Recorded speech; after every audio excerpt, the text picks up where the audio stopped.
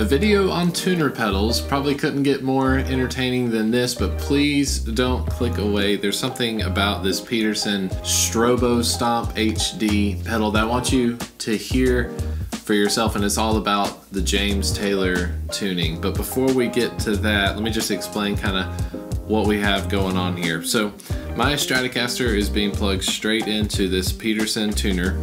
The Peterson tuner is a strobe tuner for me, that means that you're never really going to be satisfied as you're tuning. It's plugged directly into this Boss TU3. The Boss TU3 is very satisfying. If you are in tune, it gives you these two little lights that click into place. As I said with the strobe tuners, rarely does it ever sit in place like that. So when I'm playing live anywhere, like at church or something like that, I'm usually taking this TU3 Boss tuner with me.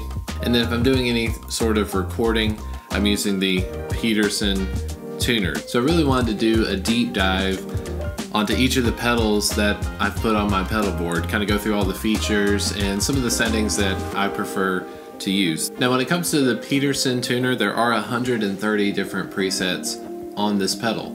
Not all of them are going to be visible to you coming out of the box. You can hit the menu button and access the presets and then switch on and off whichever presets you want to keep. On my Peterson tuner, I have the James Taylor tuning, which is referred to as SBJ. I have guitar tuning, GTR, that's a sweetened tuning from Peterson.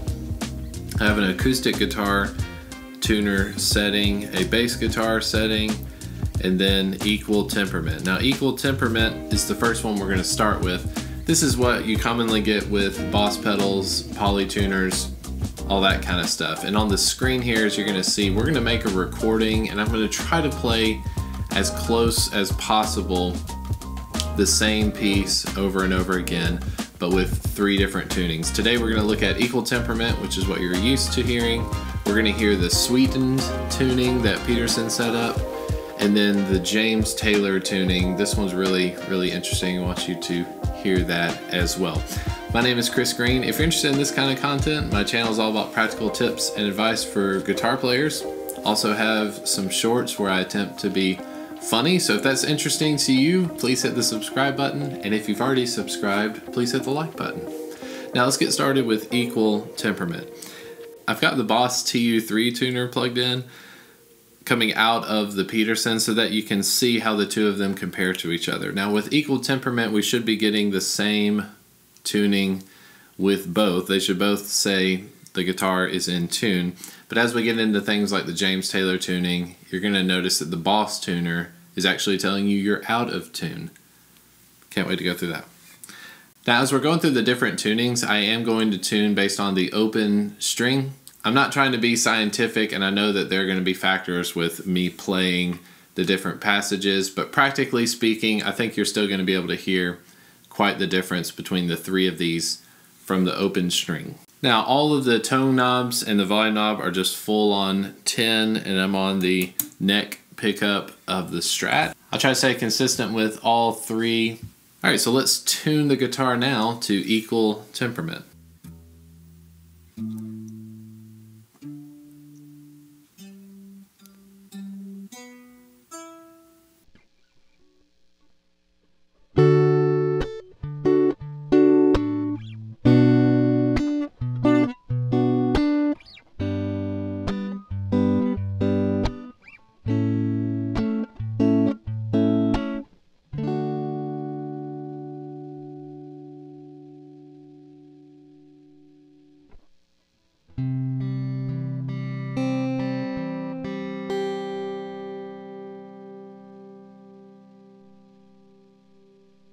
That was our equal temperament tuning. Now we're switching over to what Peterson refers to as their sweetened tuning.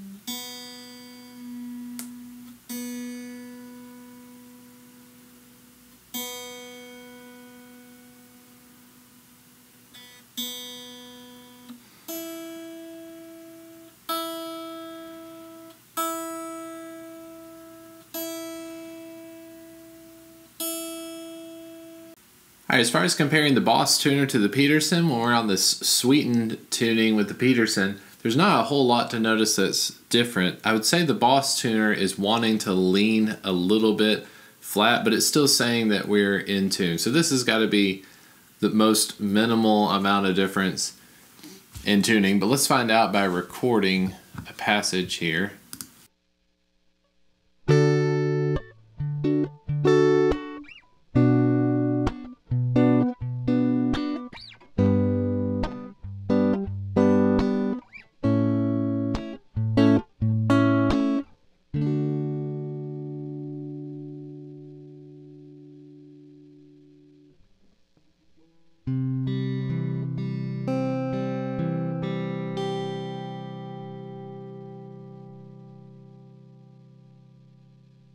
All right, last but not least, I'll go ahead and tell you that this James Taylor tuning is my personal favorite, but you tell me what you think.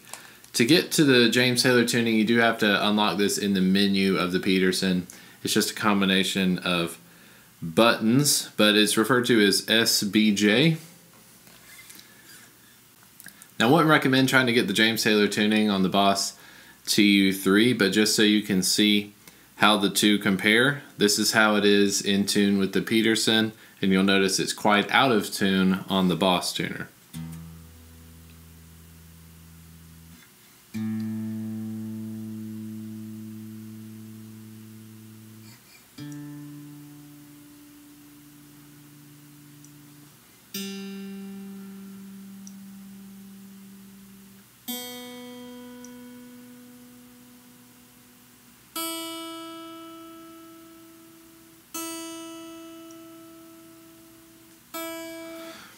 So on the Boss Tuner, James Taylor tuning is at least one red LED, sometimes even two LEDs off.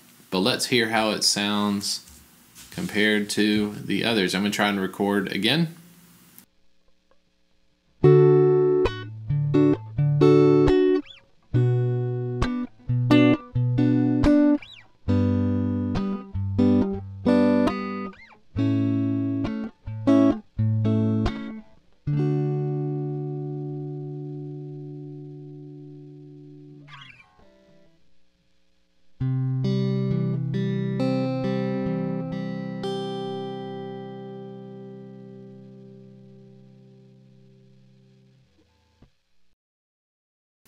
I'm wondering with the James Taylor, you notice that most of the strings that we tuned were a little bit flat.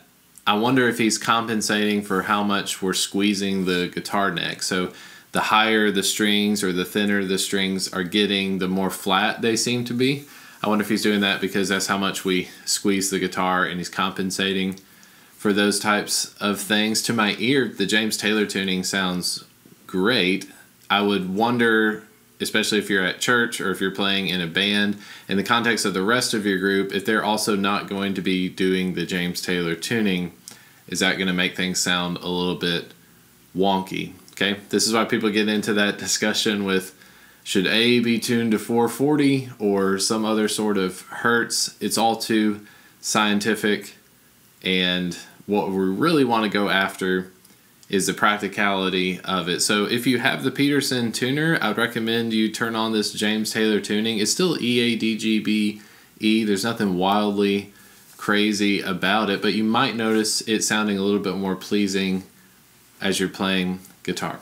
So now let's just go through in each three of these and I'll jump around between the three of them so you can hear how they compare.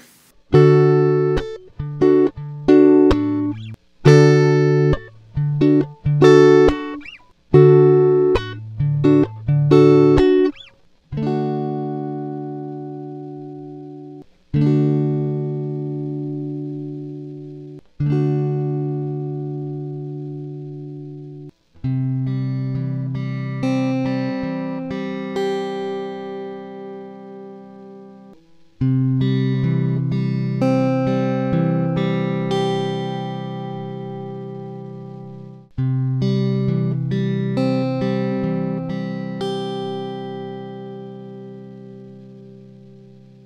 what do you think?